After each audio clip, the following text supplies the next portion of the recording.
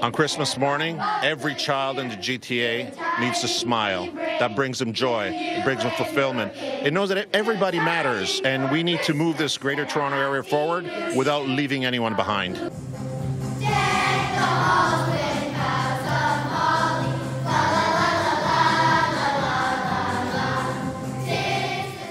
And really, I'm really happy the CP24 Christmas Wish has been consistently now, consistently kicking off the campaign right here in the city of Vaughan because they recognize, they recognize that this city is a city with a big heart.